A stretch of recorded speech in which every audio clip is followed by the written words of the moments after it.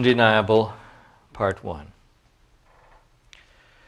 We're going to be looking at a book by Douglas Axe called Undeniable How Biology Confirms Our Intuition That Life is Designed. It's uh, published uh, by HarperCollins, and uh, it can be gotten in electronic as well as uh, book form. We do have the book with us, and you have to see the cover on the screen. Um, uh, in the back of the book, and uh, uh, or not, not actually in the back, I think it's in the sli- side, uh, the fly, and uh, on the internet sites, there's a description that that uh, is given that's repeated multiple times, and it's probably worthwhile going through it. It's kind of like getting an abstract of the book. Throughout his distinguished and unconventional career, engineer turned molecular biologist Douglas Axe has been asking the questions that much of the scientific community would rather silence. Now, he presents his conclusions in this brave and pioneering book. Axe argues that the key to understanding our origin is the design intuition. The innate belief held by all humans that tasks we would need knowledge to accomplish can only be accomplished by someone who has that knowledge. For the ingenious task of inventing life, this knower can only be God. Starting with the hallowed halls of academic science, Axe dismantles the widespread belief that Darwin's theory of evolution is indisputably true, showing instead that a gaping hole has been at its center from the beginning. He then explains in plain English this, that science that proves our design intuition scientifically valid. Lastly, he uses everyday experience to empower ordinary people to defend their design intuition, giving them the confidence and courage to explain why it has to be true and the vision to imagine what biology will become when people stand up for this truth. Armed with that confidence, readers will affirm what once seemed obvious to all of us that living creatures, from single celled cyanobacteria to orca whales and human beings, are brilliantly conceived, utterly beyond the reach of accident. Our intuition was right all along. So that's what the book is about. And uh, we're going to do kind of a reader's digest of the first two chapters. Where you see things in yellow, those are my comments. Chapter 1 The Big Question. In August of 2013, as I was making my way down a picturesque Cambridge street called King's, Paradise, uh, King's Parade, pardon me, I nearly collided with renowned British scientist Sir Alan Fersht. We were a short distance from Cambridge University's Gonville and Caius colleges, College, where he serves as master among a dis- distinguished group of scholars, including the well known cosmologist Professor Stephen Hawking. Fersht was exiting a, a shop, stepping across the sidewalk to his bicycle, and that was where our paths crossed. I know him as Alan. I'd been friends with him for so long, having worked at research centers directed by him from 1990 to 2002, that I assumed we were probably we probably still were friends 11 years after we went our separate ways. Events had tested our friendship, though, from my perspective, an honest conversation making it clear where we stood with each other and why our working relationship had to end so abruptly would have been very helpful when I left his Center for Protein Engineering in 2002. One senses a, a little stress there. Um, in a later chapter, so if you come for another uh, uh, talk on this, you um, there'll be a few more details of exactly why that uh, split took place. Our time was short. I had a vacationing family waiting for me, and Alan had a college waiting for him, so we settled for something less than closure. We did what we could do within a few minutes, with a few minutes. After all that had happened previously, those few minutes re- reaffirmed our friendship, which was a good start. Most people find their place in the stream of life early on by mastering the art of going with the flow but I seem to be one of the exceptions. I never set out to oppose the stream. Still, I found myself compelled to take a course you would never choose if the power of the stream were at the forefront of your mind. As anyone who's tried wading across swift waters knows, awkwardness was bound to follow. I recall a question on a final exam near the beginning of my graduate studies at Caltech. Which of the biological macromolecules is apt to have been the first living molecule and why? If that sounds like Greek to you, relax. I promise to write in plain English. All you need to know is that the question is about how life began, posed with the unstated assumption that it began by ordinary molecular processes. And which molecule was it, basically? That assumption had been ingrained in biological thinking for so long that it went without saying. Every student in the class understood this, but I understood it more critically than most did. I knew the expected response to the test question, but through my critical lens, that response seemed scientifically questionable. So I had a choice. Do I go the with the flow or do I push against it?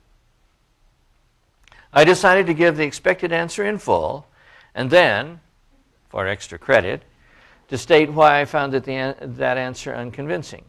I explained why, contrary to the consensus view, I didn't think any molecule has what would be needed to start life. As shrewd as that seemed at the time, I learned when my exam was returned, with points deducted, that we students were expected not only to know current thinking in biology, but also to accept it without resistance. We were there as much to be acculturated as educated. I had learned my lesson. The stream of scientific consensus flows with an almost irresistible current. Almost.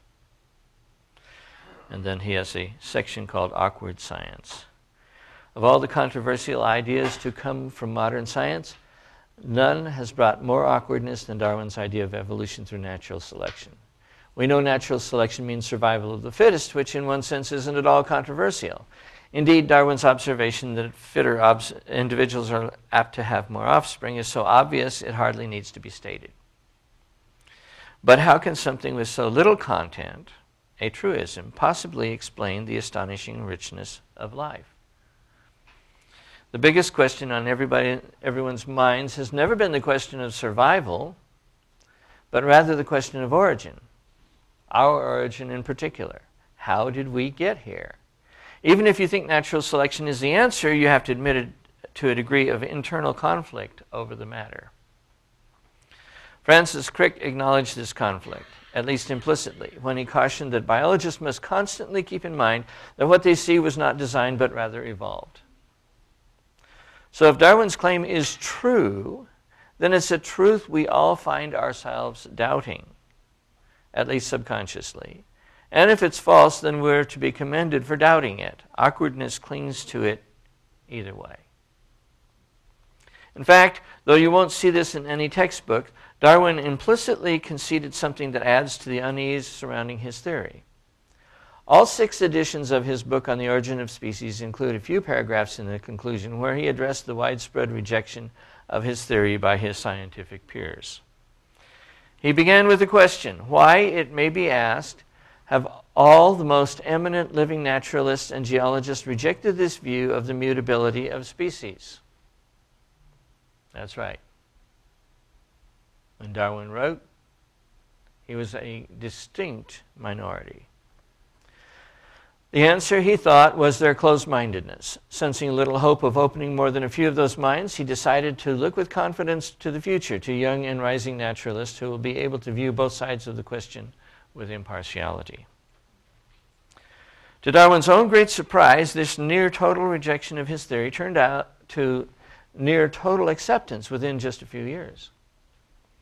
Up to the publication of the fifth edition of his book in 1869, his original gloomy assessment of the reception of his work wasn't in need of revision. Then in 1872, a mere three years later, the sixth edition followed those original paragraphs with this commentary. As a record of a, for, of a former state of things, I have retained in the foregoing paragraphs and elsewhere several sentences which imply that naturalists believe in the separate creation of each species. And I have been much censured for having thus expressed myself. But undoubtedly, this was the general belief when the first edition of the present work appeared. I formerly spoke to many, very many naturalists on the subject of evolution and never once met with any sympathetic agreement. It is probable that some did then believe in evolution, but they were either silent or expressed themselves so ambiguously that it was not easy to understand their meaning. Now things are wholly changed, and almost every naturalist admits the great principle of evolution. Of course, there were exceptions there too, but uh, what would cause such a sudden reversal of scientific opinion? Did a new scientific discovery appear in the late 1860s or early 1870s, potent enough to convince the skeptics that Darwin was right after all? Clearly not, as Darwin surely would have cited such a decisive finding. But if science itself wasn't the cause of the change, then what was? Whether he intended to or not, Darwin reveals here that peer pressure is a part of science. And skipping over a little bit. As we think more about how science works, we'll see that those rare people who oppose the stream are the ones to watch. And he calls them heroic misfits. Thankfully, every generation has had a handful of rebels who are compelled to do just that. A countercurrent of awkwardness flows from these misfits in refreshing waves. Among the most beautiful examples of this I've come across is a man named Thomas Nagel, a professor of philosophy at New York University. He's a highly unusual atheist, and he wrote a book called Mind and Cosmos Why the Materialist Neo Darwinian Conception of Nature is Almost Certainly False. Now, skipping over a little bit, he has a, a little box that says two isms worth remembering. One is materialism, the belief that physical stuff underlies everything real, and the other one is scientism, the belief that science is the only reliable source of truth. Returning to Thomas Nagel, as you may have guessed from the title of his book, he isn't your typical atheist. Most significantly, he roundly rejects the simplistic scientism that so many atheists still cling to, as he puts it. His, his atheism, oh, wait a minute. No, that, that's just a quote. I'm sorry. Uh, that should be taken out. His atheism is heart driven, and he isn't afraid to say so. Uh, quoting Nagel, I want atheism to be true, and am made uneasy by the fact that some of the most intelligent and well informed people I know are religious believers. It isn't just that I don't believe in God and naturally hope that I'm right in my belief, it's that I hope there is no God I don't want there to be a God. I don't want the universe to be like that. My guess is that this cosmic authority problem is not a rare condition and that it is responsible for much of the scientism and reductionism of our time. One of the tendencies it supports is the ludicrous overuse of evolutionary biology to explain everything about life, including everything about the human mind. The big question. Again, that one big question of our origin unites us not because we agree on the answer, but be, because we should all agree on the importance of finding the answer. Throughout history, it has been the foremost question of people searching for understanding. What is the source from which everything else came? Or to bring it closer to home, to what or who, to whom do we owe our existence? This has to be the starting point for people who take life seriously, scientists and non scientists alike. If all goes well, our journey in this book will take us to the answer. We'll know we've arrived there when we have an answer that not only rings true, but also distinguishes itself as the one answer that rings true. There should be no credible alternative. A map will help as we begin. My aim over the next four chapters isn't to answer the big question, but instead show where we should be looking for the answer. Chapter 2 will introduce the intuition that creates internal conflict in all of us by tugging against Darwin's claims. This design intuition, as we will call it, is the very intuition Crick wanted us to suppress. Chapters 3 and 4 will be a short account of the unexpected lessons I learned while seeking a scientific solution to this internal conflict. These lessons weren't about the proteins I was studying, but about the people I interacted with along the way. Really, about people in general. With those lessons in hand, we'll see in chapter 5 that the answer we're seeking is to be found not in technical science, but in something much more familiar, something I call common science. There will be plenty of glimpses of technical science along the way, but all of these will be presented with the non technical reader in mind. In the end, we'll see that the mastery, mastery of technical subjects isn't at all needed in order for us to know the answer to the big question. Common science will be perfectly adequate. The next section of the book, chapters 6 through 9, will be a journey through the, the important aspects of common science. The point of chapter 6 will be to provide a better understanding of what life is and what it isn't, which will provide which will prove helpful as we progress to the matter of where life came from.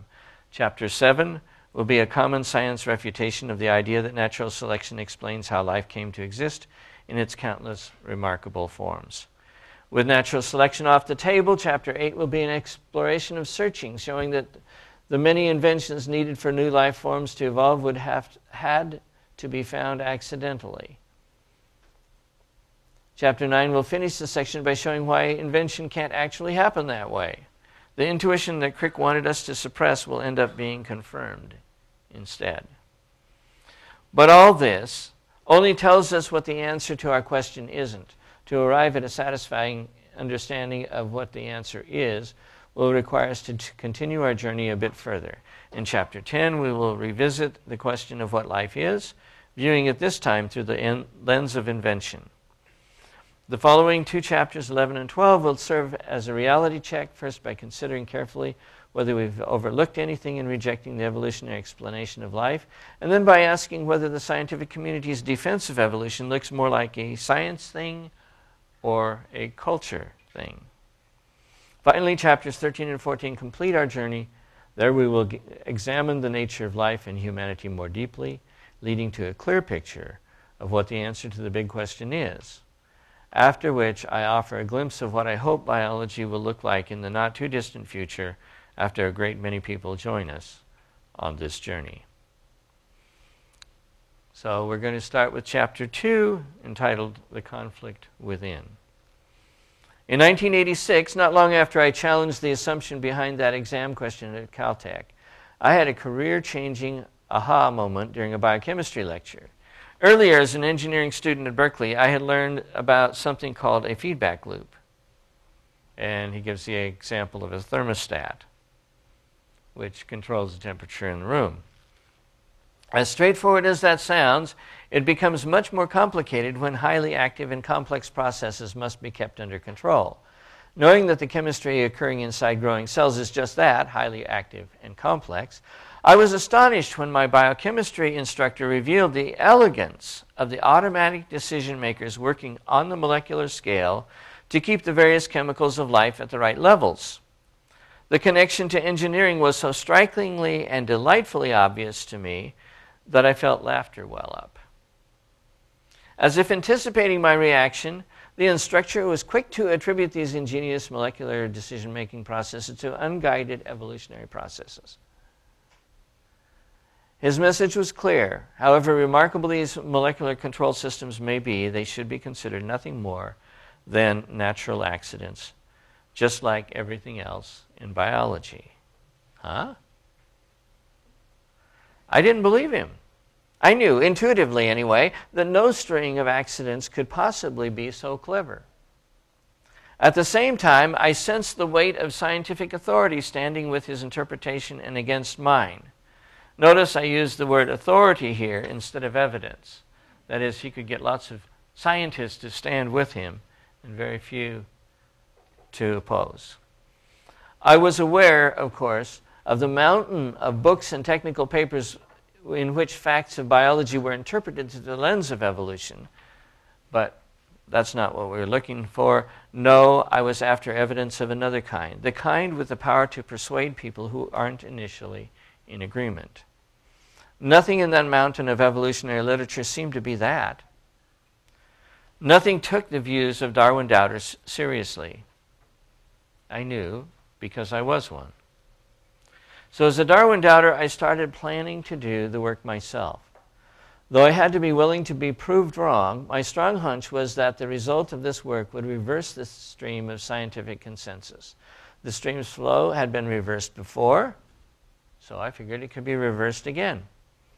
I knew there were risks, but my motive for proceeding was too strong to be ignored. Uh, what he calls the conflict within. Skipping over a couple paragraphs. Starting with soup, a team of researchers in the culinary sciences recently discovered a revolutionary new soup they called oracle soup, referring to the oracles, mysterious revelations of the ancient Greeks sought from their gods. Indeed, had this soup been known in the days of Homer, it would surely would have been attributed to a powerful god. It looks just like alphabet soup, thin broth with little pasta letters and numbers swirling around. But this soup of the gods distinguished itself by what it does, as this experimental recipe shows. Fill a large pot with oracle soup, cover the pot, bring the soup to a boil, remove the pot from the heat, and let the soup cool. Lift the lid to reveal complete instructions for building something new and useful worthy of a patent, all spelled out in pasta letters. Repeat from step two as often as desired. You don't believe a word of this, of course, and that's precisely my point. This was actually a storytelling experiment instead of a kitchen experiment. You are my experimental subject. Sorry about that. But now I want you to observe, examine the result. What did you observe? Well, in the space of a moment or two, you decided with complete confidence that oracle soup can't be real. Interestingly, though, despite our collective certainty on this matter, most of us struggle to explain how we know oracle soup can't be real. To ask a related question, how would we make sense of oracle soup if it were real? If we reflect on that for a moment, I think we would agree that no ordinary explanation would seem adequate for something so extraordinary. But if this is true, how can the evolutionary explanation of life not provoke that same skepticism? You know, the evolutionary explanation rain happens, life happens. Rain comes from clouds, whereas life, according to Darwin's speculation, originally came from soup. Not from oracle soup, but from primordial soup. In other words, the most peculiar aspect of Darwinism isn't that it takes credit for things that seem too extraordinary to be explained, but rather that the explanation offered seems too ordinary for the job. To be clear, I'm not suggesting that the falsity of the Oracle soup story justifies rejecting the primordial soup story. There are obvious differences between the two. I'm simply saying that the evolutionary story seems counterintuitive at times, even to those who accept it. Berkeley psychology professor Alison Gopnik said in a recent Wall Street Journal column by elementary school age, children start to invoke an ultimate godlike designer to explain the complexity of the world around them. Even children brought up as atheists. In fact, uh, Deborah Kellerman Kellerman, a psychology professor at Boston University, said even though advanced scientific training can reduce acceptance of scientifically inaccurate teleological explanations, it cannot erase a ten- tenacious early emerging human tendency to find purpose in nature. You have to fight against the intuitions. The universal design intuition. As a scientist, I recognize the need for caution here. Intuitions are such slippery things that we can hardly give an adequate first hand account of them, much less a general account for all of humanity. Thankfully, we can proceed with something much more modest. With that qualification, I think the intuition by which we immediately perceive certain things to be pro- the products of purposeful intent is close to the idea that some things are too good to be true. This explanation, this expression doesn't mean that good things can't happen. It means certain good things can't just happen. They never come out of thin air. They only happen if someone makes them happen. We apply this insight to get rich quick schemes, for example, because they portray financial success as though it requires no skill or effort, whereas experience tells us otherwise.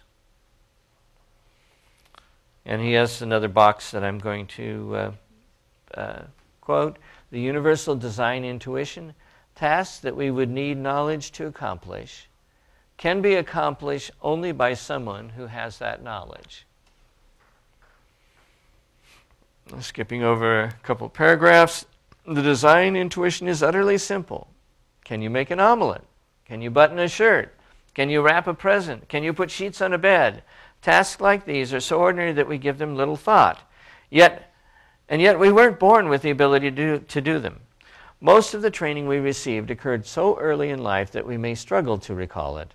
But we have only to look at a young person still in training years to be reminded that all of us had to be taught. Of course, this is anything but new.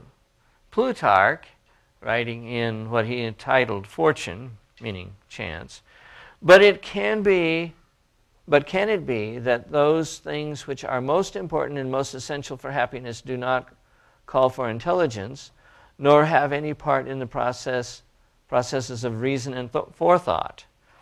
Nobody wets clay with water and leaves it, assuming by, that by chance and accidentally there will be bricks.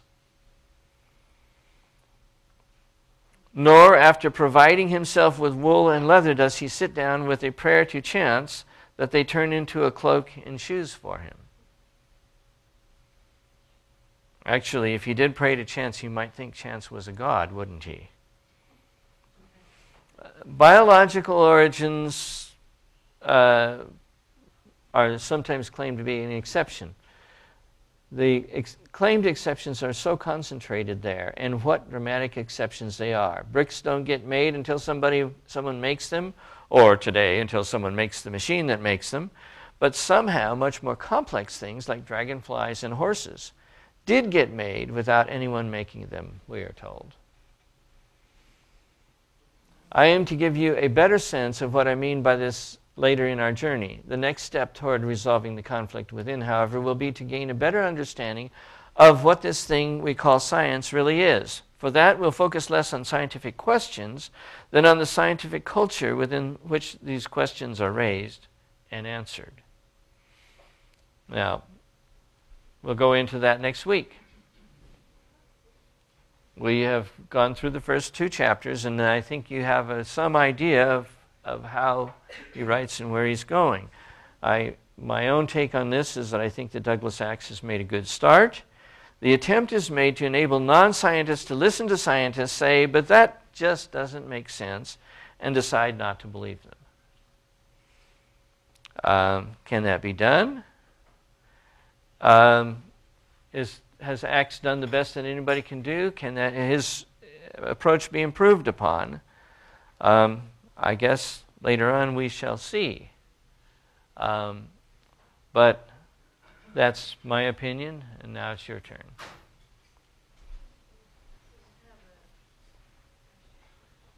No comment back here. Is he a short age creationist? Pardon me? Is da- Douglas, where is his, is he, Uh, as far as a I know, creationist? as as far as I know, he is not. Yeah, just uh, keep keep talking. It will eventually pick you up. Uh, okay. Is it picking, oh. Yeah. Where, do you know where he is in this evolution? Um, Does he my believe in God? Does he my believe in sense God? is that he's intelligent design advocate, and not a short age creationist. One thing I will point out, though, is that once you accept design, the rules change. Because if there is somebody who, if there's somebody who planned this, knowing what they think and how they act is going to be more important than knowing what nature can do by itself. So he, And all of a sudden, the kinds of rules that have been used to rule out a short age for creation don't really apply in the same way. so he's kind of agnostic then, or? Uh, well, I, I think if you were to push him, he would say he believes in long age, but he does believe that God did it. Oh, And it's going to be very clear that it's God, not just uh, some intelligent designer that we have no idea who it was. Theistic evolution type of Um, framework. I, I'm careful not to use that label because it, Uh, originally, I think you would call him a theistic evolutionist, but the label has evolved to the point, pardon the expression, that uh, that it applies to people for whom evolution is accepted wholeheartedly and then theism is slapped on top of it. And so I'm careful not to use that term for people who believe in an intelligent designer who actually intervened and just did so a long time ago.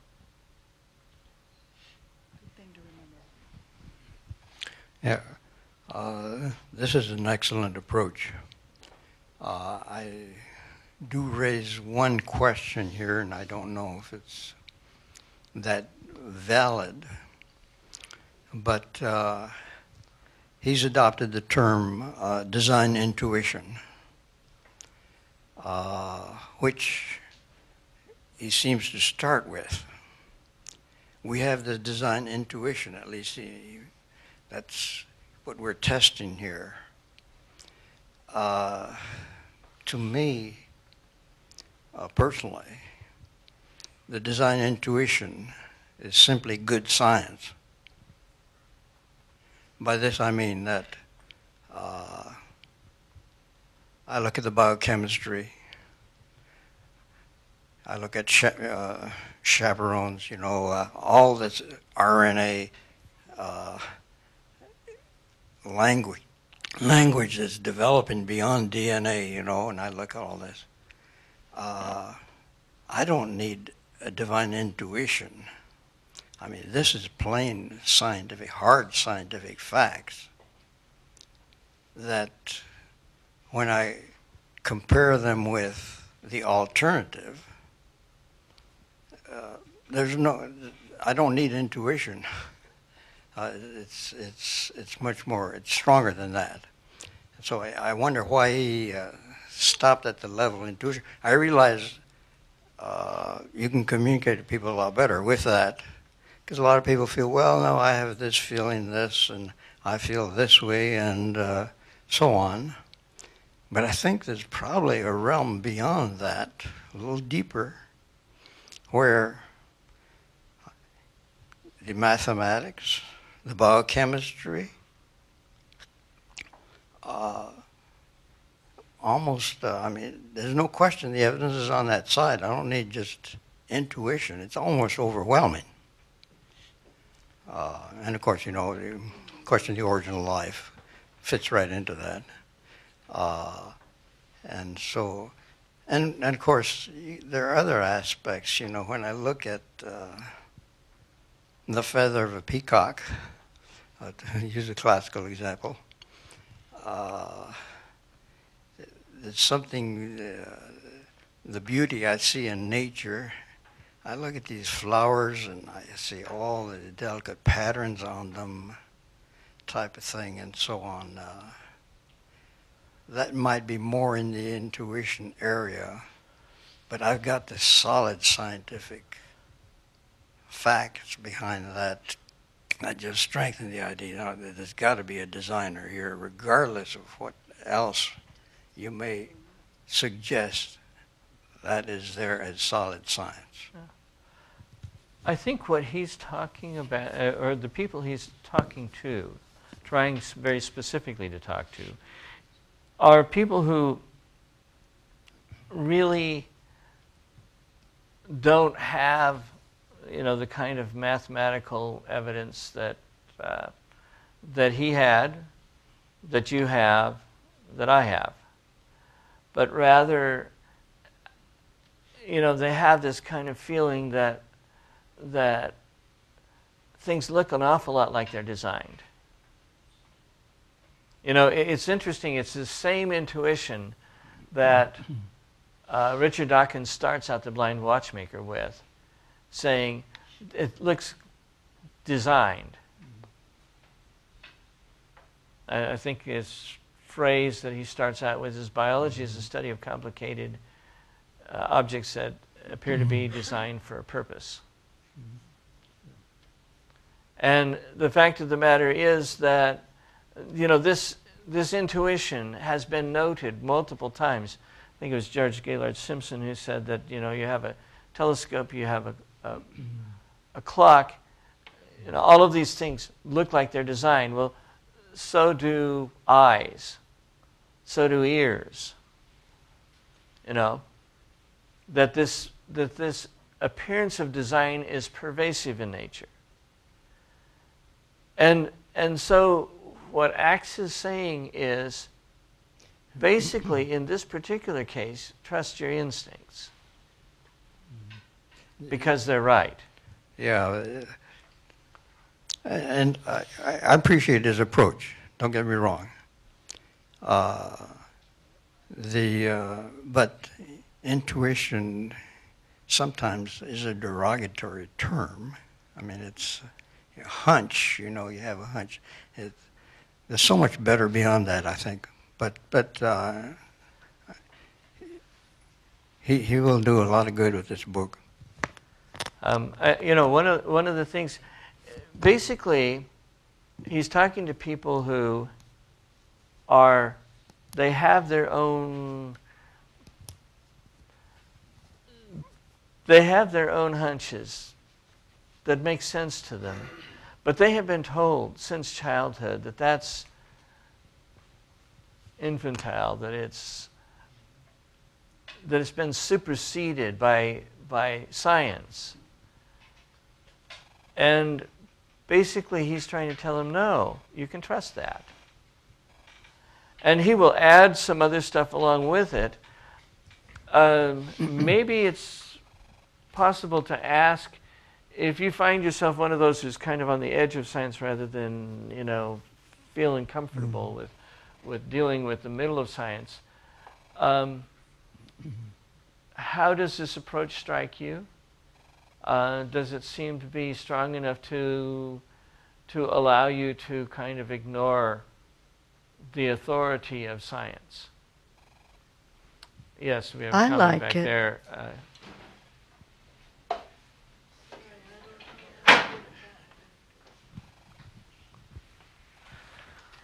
It may be surprising to some people to realize that, that there is a world outside of science. There are artists and musicians and, and whole, literary types and a whole bunch of people that are never, ever going to wade through the scientific articles that support anything. So they're picking up what they know as they go through elementary school and high school and college, and as they go to church and wherever they go. People like me, who are in education. I find science interesting, but I'm not going to spend a lot of time reading through the technical details. I frankly don't care. I think he's writing this book for people like me. And I've, I've read now about a third of the book, and I'm fascinated by the philosophical arguments that he presents, a lot of which were skipped today, but which make a compelling argument to a non scientist kind of person. And it's my impression that he is making that argument and is layering some science on top of it to say, see, there is more stuff here in science that actually supports the philosophical point I'm trying to make. When he starts talking about proteins and things, um, you know, he, he is quoting his own research.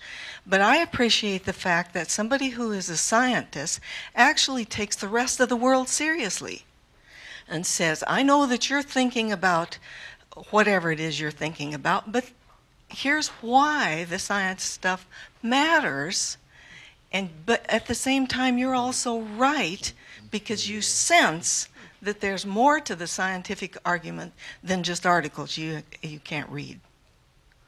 Can I ask a question? Because hey, this is this is interesting and possibly important. Um, were there some points in chapters one and two that I skipped over that you would like to pull back in? Yes. Yes, and I'm sitting here with my book marking some of those. Good. Uh, could you uh, could you go over those, or some of them at least? At this moment, well, th- some of them were a page and a half long that were skipped. And so I, I just would like to see his arguments fleshed out more because I think he's not talking to scientists. I I think he's talking to me. And so I, I would like to just see those fleshed out things uh, in the future presentations, maybe. Mm-hmm. Or I would encourage people to buy the book. It's, it's highly readable.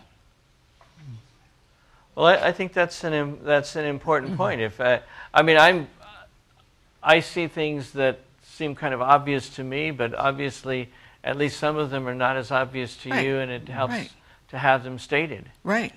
Um, uh, and uh, you know, if, if in the future I, I skip over stuff that you think I shouldn't, um, I'll mark it. um, mark it and, and, and bring it back. And in fact, uh, if you can uh, if you can go over the stuff that uh, that we've already done, and that you think probably shouldn't have been left on the cutting floor, uh, because I acknowledge I'm trying to, you know, I'm trying to cut it for You're talking to scientists, yeah. but we aren't all scientists. Even in this room, we aren't all scientists. Paul? I've never let a lack of scientific knowledge hold me back. the, the, the, wor- the word intuition is difficult to get around, and I'm not just sure what it means. I've heard of women's intuition, and I'm not sure what that is either, although my mother had an unusual dose of it sometimes. Um, if you've ever studied with our Mormon friends, when you come right down to the nitty gritty point of belief or not, they tell you, I know it's true because I have a fire in my bosom. Yesterday, I read an article on seeking the DNA from the plaque on the teeth of ancient buried peoples. A large group of different scientists were working on this. Huge, huge computers were finding out things. It was a most impressive article. Intuitively, I know it's not true, but the thousands of years of these old teeth, these marvelous machines to decipher the information from the plaque, oh my, I almost became an evolutionist. But my intuition tells me hold back a little bit, if that's what intuition is.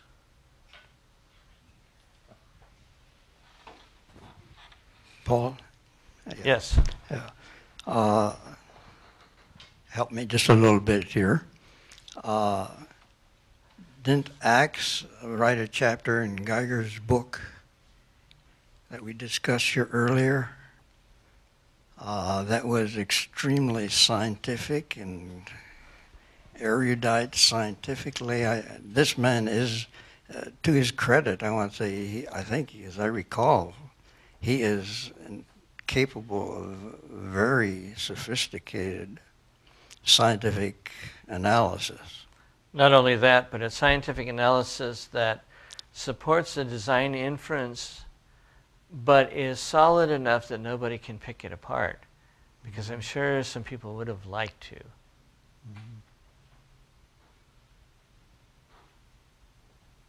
Yeah, no, he's he's he's very good at what he does, and what he does is strongly supportive. In fact, one of the things I'm going to do is after we get done with the book itself, I'm going to pull up a few of his papers, and you can take a look at them and see the the intelligence, the sophistication, and yet the solidity of what he does, the robustness, the difficulty for people to find criticism.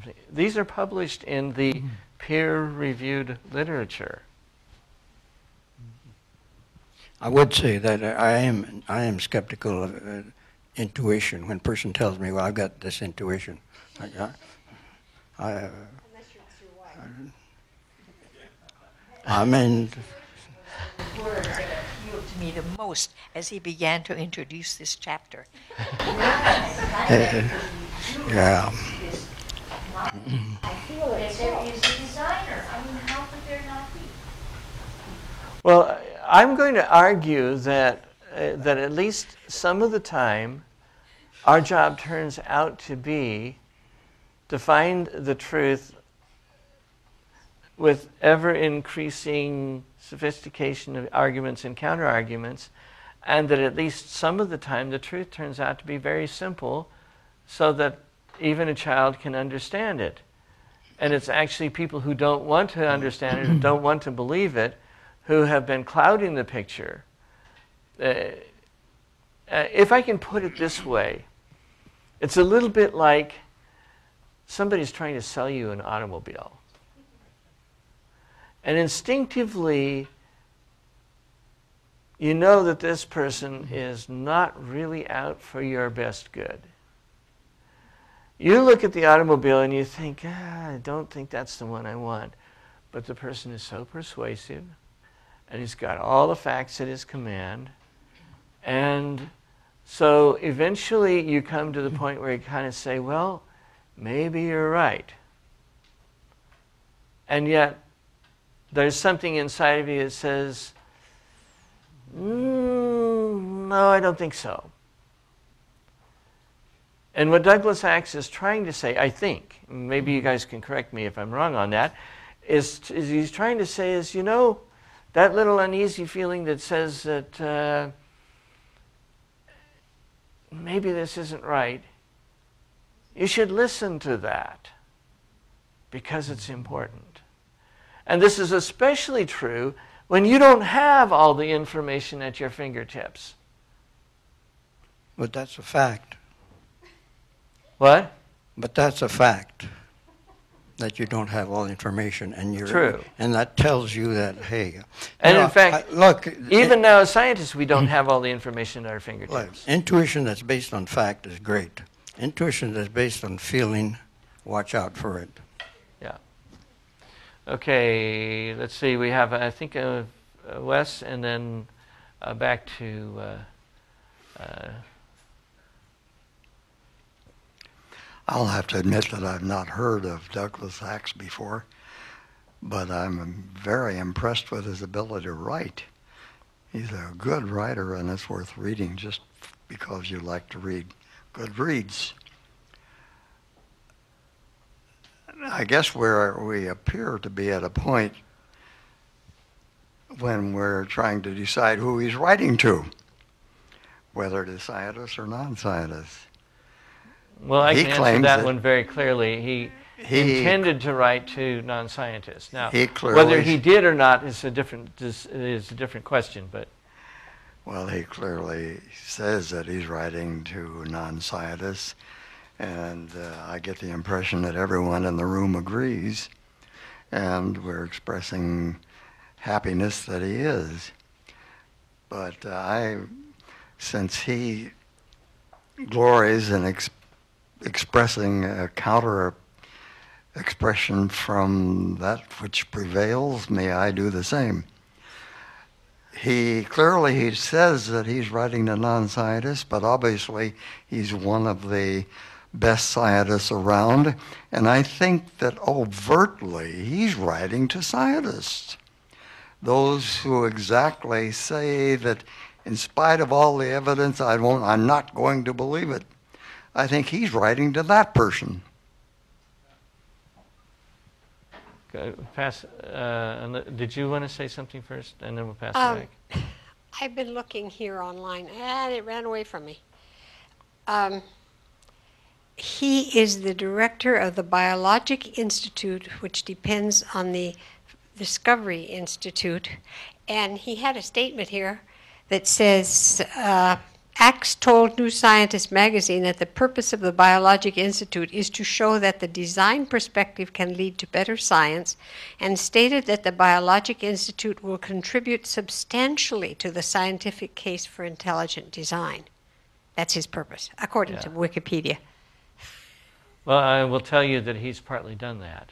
Go ahead and pass the mic back uh, to Anita. There you go. Having said that, I'm a non-scientist and I don't re- like to read scientific articles I don't understand. I do read a lot of the abstracts and the conclusions of scientific articles, and if th- there's something in the, there that interests me, then I go back and, and read the rest of it. And we read things like Discover magazine regularly, so, you know, and we come here. Um, but I think that one of the major points that he's trying to make is on page 14 uh, he's talking about tu- intuition, and he's been talking about how scientists changed after Darwin wrote his book. And he says that he's talking about scientific authority versus scientific evidence. And he says much of what happens in science is because of scientific authority rather than scientific evidence. And, and I think that he makes a really good point of that in chapter two, talking about the power of peer pressure among scientists. And when he gave the example of the question that he answered on an examination and how he got marked down for giving an alternative view, just as an illustration of what happens to a student or anybody else who questions the current scientific authority. Because as you know, science changes through the years. But the current view cannot be challenged unless you have a couple of PhDs. Um, if you believe Jonathan Wells, even if you have a couple of PhDs. And I mean that literally. I'm, I'm thinking about this business of whether he's writing to scientists or non scientists, and I think and that I see something in there that I'm not sure I can express adequately, but uh, I would say that maybe he's writing to non scientists and to um, the sensible logic of scientists that doesn't accept being buffaloed. that that, that, um, that wants to put sensibleness above what is being portrayed as evidence. Does that make sense? I think so. Does to me anyway. Comment over here. Nick. I'm thinking about Jesus Christ. His mission was to convince people that he was the Messiah. Did he appeal to intuition only or to evidence? In which one of the two was did he appeal more? Think about all the miracles he performed. If intuition was enough, he could have done away with miracles. Am I wrong? I Tell me if I'm wrong. I don't know if he came to prove that he was the Messiah. I don't. I didn't understand that as his primary purpose, even his secondary purpose in coming. He came to save sinners, and to do the will of his Father, and to yeah, to save, to save, to be our Savior. So why did he perform so many miracles? And why did he For that pur- for that reason. why did he perf- finally when they reject were rejecting him after all the miracles all the healings and his power over nature why did he comply with their request because they wanted more evidence so he provided the most powerful evidence which is the resurrection of Lazarus, which had been dead for four days. That was something nobody could controvert. True. Actually, well, he they did. want to believe in him. How? Tried to. How so? Because because Caiaphas' reaction to that whole thing was, um, well, you know, people will go over to him and the Romans will come and destroy our country. It's better for one man to die than the whole nation to die. And people were trying to kill Lazarus because he was evidence. So they tried to kill evidence, and you're telling me that that evidence had no play in this? Well, I agree No, no. that evidence does have a play, and I think that one of the things that Douglas is going to do as we get further is to show that, in fact, that intuition is correct and that it comports with the best scientific evidence. I don't think he's going to say, just trust your intuitions, all of them but he's going to say this particular. In fact, he specifically says you can't necessarily trust your intuitions, but he's going to say this one, in fact, is correct. I'm not, I'm not opposed to evidence. I think that's what we do need to rely on is evidence. But what he's trying to do is he's trying to allow you to stand in front of people who say, But I've studied this for years. I'm an expert in the field. I'm world recognized expert in the field. And I say, and he's going to be, he, he wants you to be able to say, what you say doesn't matter because there are other there it's obvious that there's design and that you're telling me there isn't design doesn't count unless I know you have no axe to grind, pardon the expression. Um, and in fact, you do have an axe to grind obvious implies evidence. Am I wrong? Um, yes, and I think that one of the things he's trying to tell you is this is common sense. That this is common, he'll call it common science. And what he's saying is look, you guys do this all the time. You know that. If I tell you a story about alphabet soup, you go, that's not right. And you're correct. In order to make alphabet soup that would give messages, you would have to have someone somehow be able to influence those letters to line up the right way. Maybe it takes magnetic fields, maybe it takes strings on the pasta letters. Uh, maybe it takes ways of forming the pasta letters so that uh, you know the S can re- be rearranged into a Z or something like that. But the idea is you can't just have it happen. It doesn't just do that by itself. That there has to be someone or something that will arrange those letters to where they make sense. That it just doesn't happen without a designer. Now, at this point, you can't say much about who the designer is or what their intentions are. But what you can say is it didn't just boil out of the pot. And what he's saying is that's an intuition that's based on a lot of knowledge.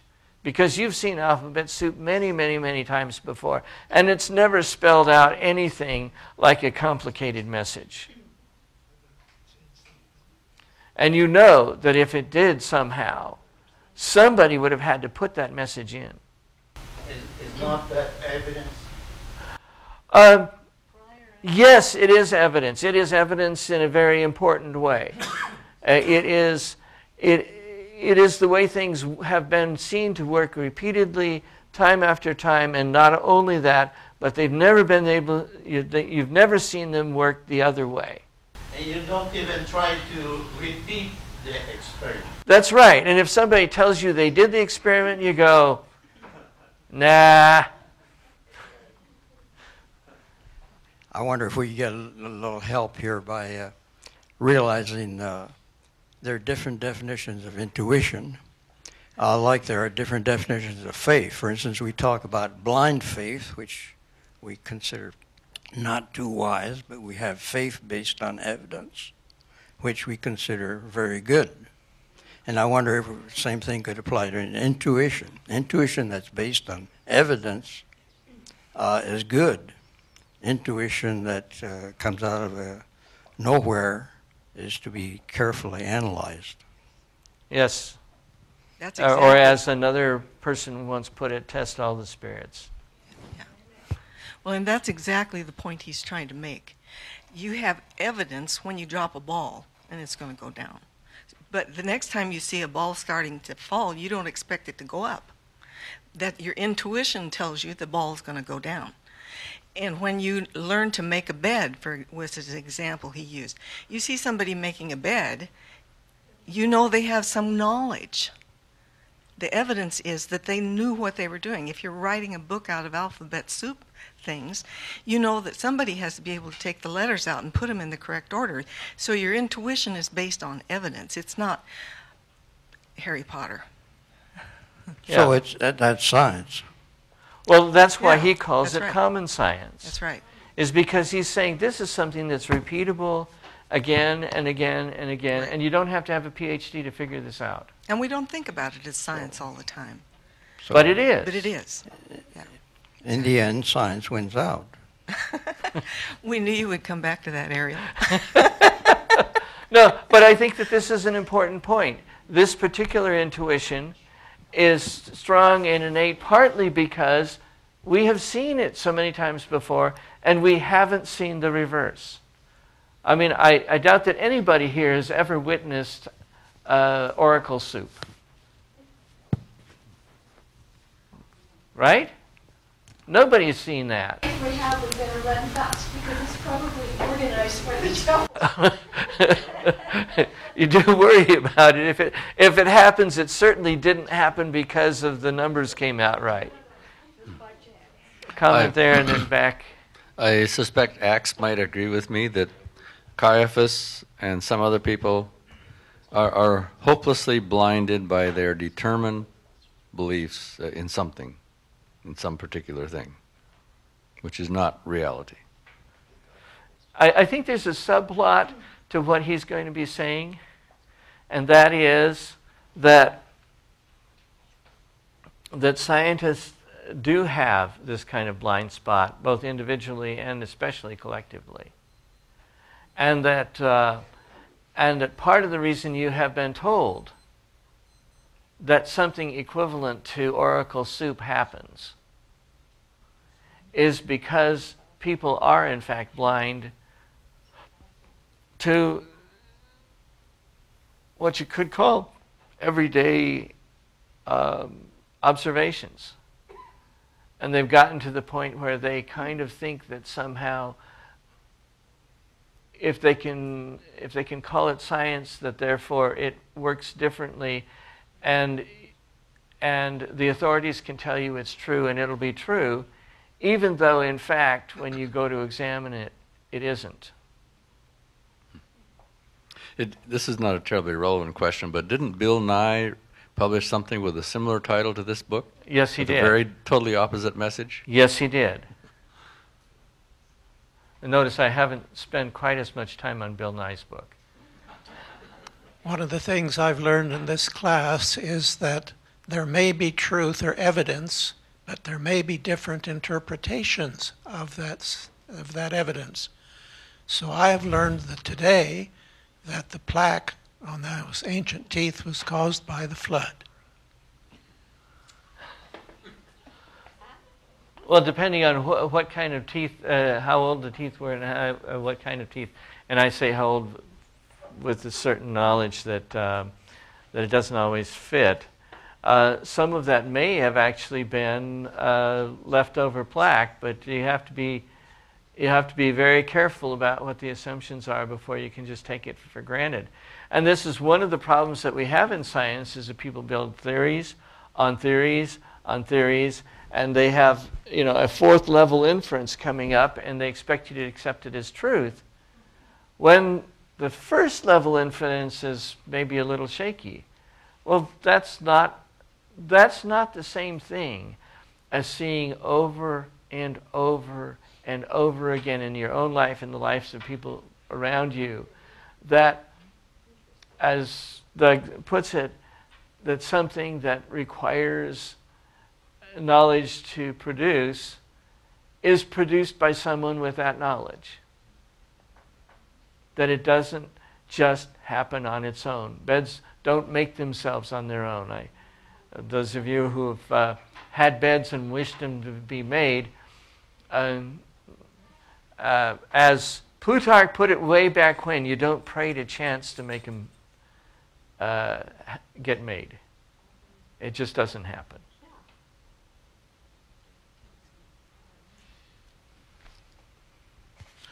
Intuition, I'm sorry, intuition itself is based on evidence. Depending on the intuition, there are some that, that maybe have less base, but I think that the, the best intuitions are, in fact, Yeah. unexpressed uh, uh, observations of, of of regularities, sometimes that people can't specifically point to, but are actually there. Yeah. And they just they just they can't quote the numbers because they haven't been paying attention to the exact numbers. But you know, every time we get in this situation, uh, when you see the clouds looking like this, right, there's probably going to be a tornado. Right. Um, because it just feels that way. Well, why does it feel that way? Well, because I've been in this situation 20 times and there were 18 tornadoes. Well, you know, you better pay attention to that. Right. That's technically science, even though you don't put it in that exact way. Well, uh, someone who took uh, music as major and someone who took, uh, took all the biology classes, you see, uh, the one who took the sciences has a much better chance of passing the MCAT um, because he has been there. He's, he's learned the stuff. He's learned stuff. So, yeah. Same way, mother hen. You know, uh, the little chicks know when she makes the noise. Well, go under her wings. It's there uh, because mother trained them. We we are talking about the origin of life. I would like to say a word about the protection of life up to two months ago or so, Adventist Health had a position that life should be protected, and the position was against euthanasia. A month after that, Adventist Health reversed its position the current position, believe it or not, is that euthanasia is in. We, Adventists, now will be killing old people. So a friend of mine told me this morning, he said, I'd rather die in a non Adventist hospital. Sorry about this, but the Bible says, lift up your voice. Tell my people their transgression this is a transgression, in my view. If I'm wrong, please convince me. Give me some evidence that I am totally wrong. I would be interested to know where they uh, where they published that. Two, uh, two, uh, three places. My website, Fulcrum, which is a serious Adventist uh, website, and one that is I forgot its name, but it's non-Adventist dealing with euthanasia. They defend euthanasia. Their purpose and objective yeah. is to defend euthanasia. No, uh, actually, none of those would speak for the church proper. Um, they cite they cite Adventist health and give sufficient evidence. Go to Fulcrum, uh, then uh, go down about six or seven articles, and you'll find it. It's very specific. I have written to Adventist Health asking them to either verify or negate. Yeah. I'm still waiting. No answer. Okay. Have you? Uh, do you know where that appeared in an official Adventist? Uh, Advent official Adventist will never publish this. Well, let me put it this way.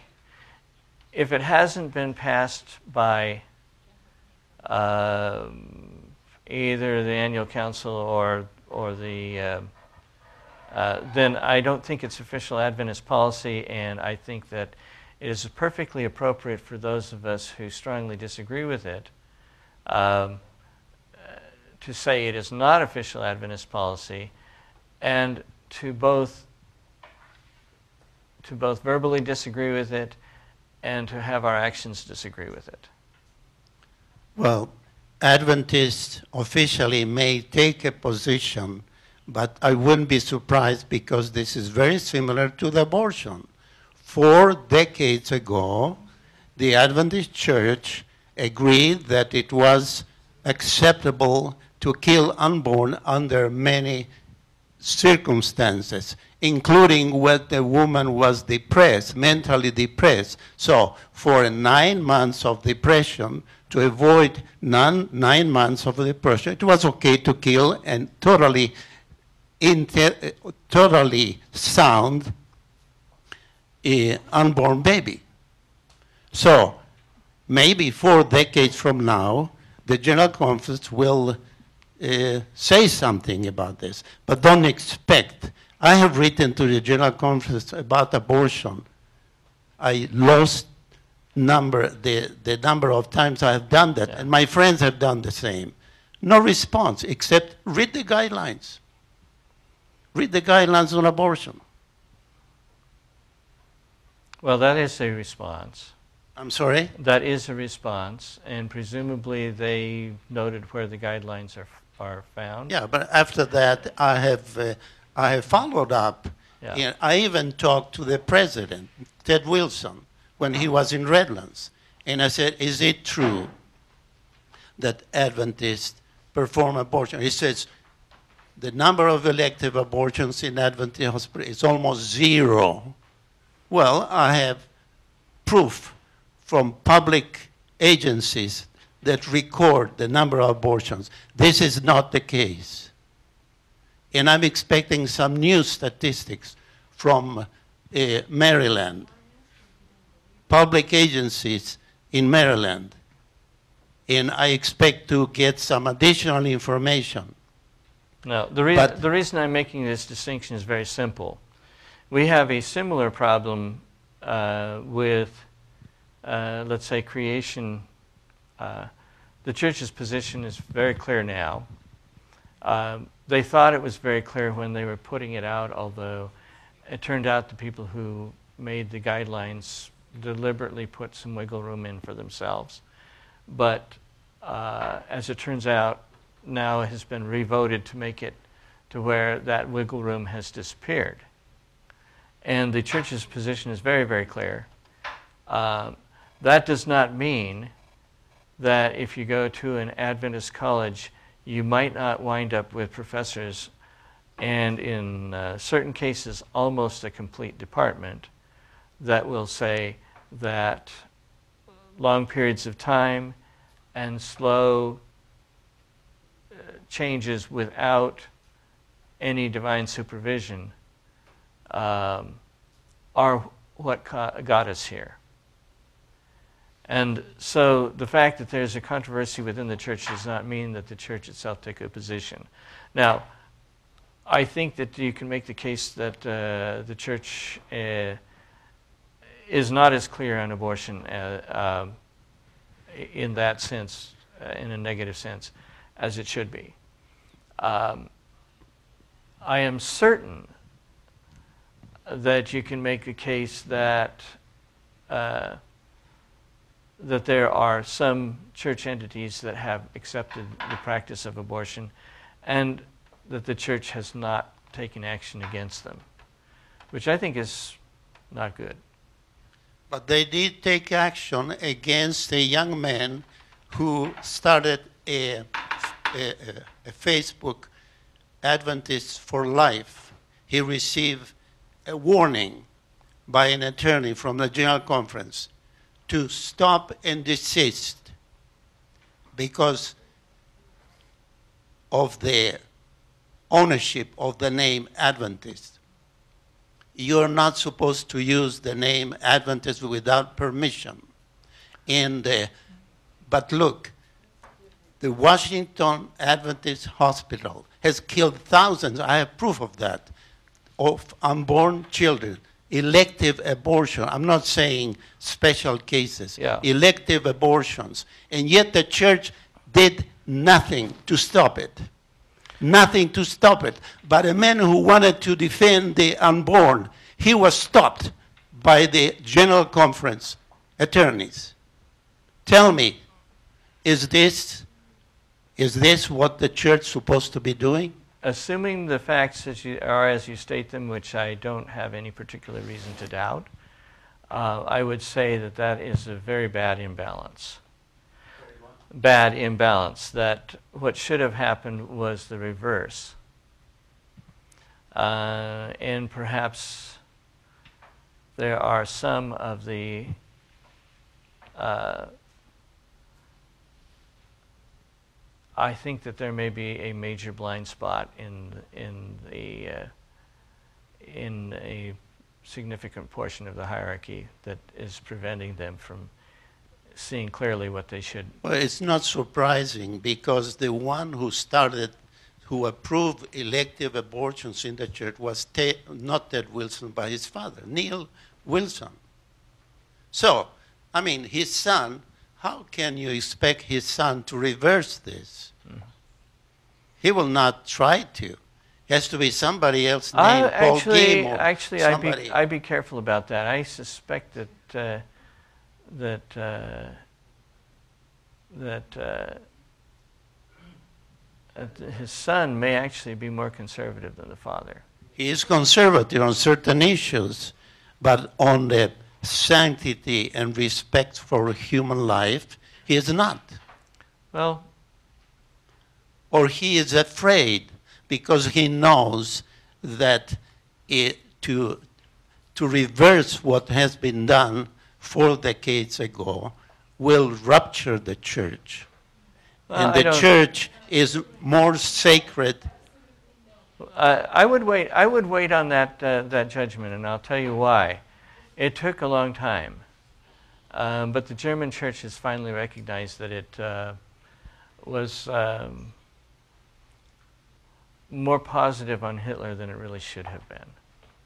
It and took- for whatever reason, and there are a lot of interesting reasons, including that you know Hitler was a vegetarian and a teetotaler, and this was attractive to a church that believed in vegetarianism and teetotalism and uh, and uh, and and so forth. And so uh, there were there were theological reasons and there were peer pressure reasons for uh, making nice with the powers that be, uh, even though this particular power that was probably shouldn't have been made as nice, and and the church has now recognized that. It so what I'm saying is. Um, you're seeing things from the position of somebody who, which I understand, uh, wants it fixed and wants it fixed now, and uh, you know, uh, uh, a week from now is too late because another 20 babies are dead. 20? Are you kidding? No, I don't think it's. I don't think the church is taking. Uh, I'm sorry? uh, I don't think that the church is taking 20 babies, uh, or let's say, uh, thousand babies a week. I don't think that's. I think that's uh, a bit of an exaggeration. Uh, don't don't misunderstand me. I think that the world is probably taking thousands of babies a week, in general. Yeah. But I don't think our church is. No, you said a although week. we were I- participated, and I think we're participating too much. I think that uh, that uh, to say that uh, to say that we're you know killing thousands of babies a, a week. I is probably too much. apologize. Uh, You said a week. I didn't hear that. Yeah. That word. So I correct myself. But uh, it took the German and Austrian church half a century. That is true. To admit the error. And so when took- did we start on abortion? It took a war. It took a war. How how how how long have we had an abortion? Since in the Adventist church? Yeah. 1970. Okay. So 50 years would be 2020. Let's see what happens. Just a, just a quick uh, question. How much control does the General Conference have on the individual Adventist hospitals in this country? Well, here- very little, by the way. Well, I'll answer. you're, you're correct on that. But one thing to keep in mind is that what little they do have should be exercised in the right way. And the idea of somebody being told that you can't talk about Adventists for life, whereas at the same time you're not saying a word about the other end of it, uh, that's an imbalance that does need to be corrected. Uh, yeah. And I uh, think the secret, yeah. the secret is the church owns the name Adventist. Washington Adventist Hospital has been using the Adventist name for decades while killing unborn, innocent, healthy babies. But the church never said a word about this. But a young man trying to save unborn children, he received a letter. Right. Stop and desist. Well, anyway, um, next week we will go back to uh, the next few chapters of Undeniable. I, frankly, I think that this that this subject is part and parcel of the concerns you have, and I'll tell you why.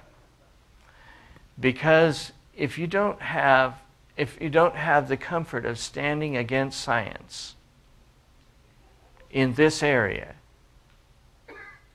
science being defined in this case as the current scientific consensus, then I don't think that you have any way of standing against science in the case of abortion. And I think that furthermore, you don't have any, any chance of standing against science uh, in terms of, of, of uh, what used to be called deviant sexual activity and is no longer because it's not politically correct.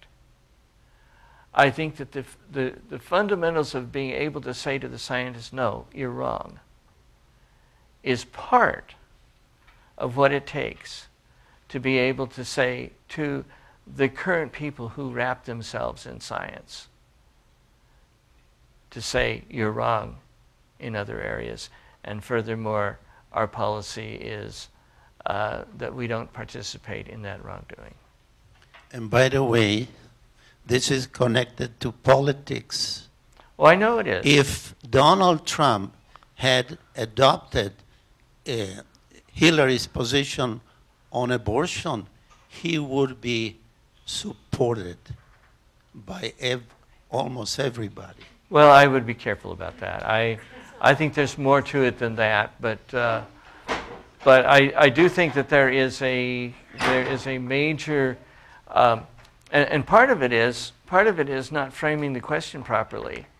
You know, there, there's, there are ways of framing the question to where you can see that, that uh, the position that this administration and the one that wants to replace it uh, are clearly not just wrong, but they're outside of the common uh, mainstream. Very few people in this country think that a baby at eight and a half months that the mother says, but I don't want the baby anymore, should be killed. Very few people say that. And yet, that's the position of the administration. And it's the position of the next one. And if, if we even got that far, it would be a major, major plus.